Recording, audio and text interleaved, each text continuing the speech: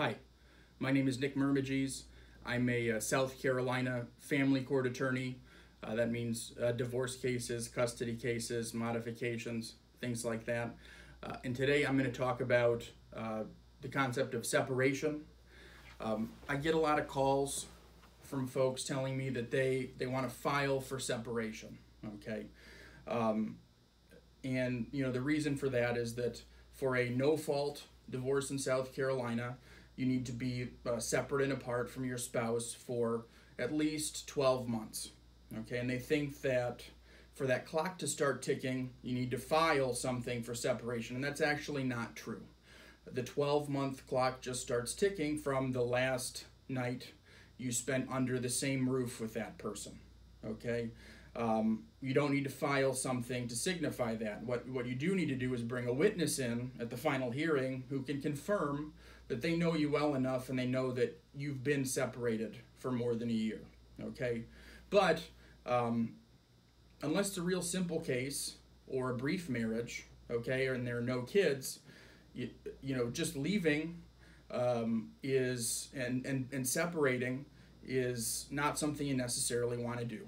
Okay, what instead, uh, you, you want to file what's known as a separation action or an action for separate support and maintenance. Okay, and so when people talk about filing for separation, usually uh, that is what they are thinking about. And so basically, an action for separate support and maintenance you can file day one after you've separated, be the day you or your spouse moves out. And in that action, um, the court can address all of the issues that are brought up in a divorce case. So if you have kids' custody, child support, and then division of property, and alimony, spousal support, paying attorney's fees, uh, selling, you know, the home, dealing with all of the issues that people fight about in a divorce case. So if you have, you know, a long marriage or a contested case or a case where, uh, you know, there are kids what you want to do is you, you want to file for separation very promptly, okay? Because uh, contested cases are cases with a lot of issues that need to be resolved in a clear way. They can take, you know, several months at least.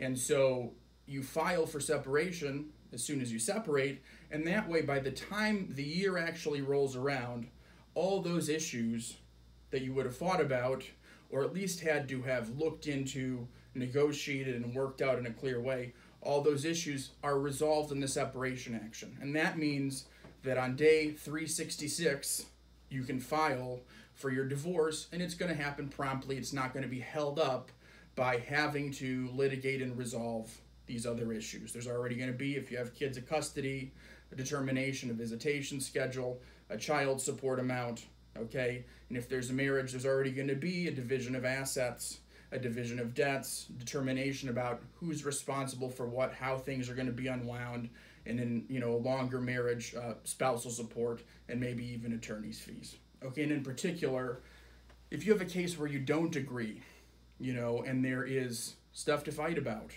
there are savings, there's a house, there's retirement, there are kids, uh, you know, you need to file for separation promptly so that you can one get a temporary ruling from a court okay because you can go in and get the court to immediately order or within about 30 days of retaining an attorney. You can get a court hearing uh, to order that uh, you know who pays for what who gets custody of the kids what the visitation schedule is. So if you're not getting along with that person the court will step in and give you guidance. You can immediately get prompt relief from the court. And then beyond that if you actually want to get divorced you know within a year um, or as close to that year mark as possible, you got to deal with all these contested issues beforehand. Okay, so that's that's how separate support and maintenance works, or that's how filing for separation works. The only other thing is that um, if you aren't separated already, can't get into court. Okay, uh, the court does not have jurisdiction to order someone to leave a home if there are not fault-based grounds. Okay, if somebody is committing adultery, if they are habitually drinking, if they're physically abusive, okay, if it's one of those things and y'all are still living together, the court the court can hear your case and can order the at fault spouse to leave, okay? Um, but uh, you know, for example, in an adultery case, you only have to wait 90 days to get your divorce from the day you file.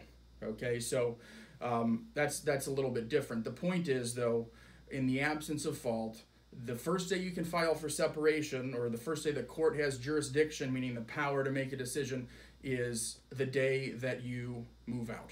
Okay, but day one when you move out, your attorney can file paperwork, uh, and and you can get a temporary hearing so that you can figure out who's going to pay for what okay, on a temporary basis till the case is over. And regardless, you can get the process rolling so that all these contested issues can hopefully be completely resolved uh, by the time your one year mark is hit. And that'll allow you to actually get divorced and move on with your life, you know, in a fair and prompt way. Okay, so that's how separations work. Again, my name is Nick Mermiges. Uh, you can contact my office at 803 724 1258. We do free phone consultations and we do take divorce, custody, family cases throughout the state of South Carolina.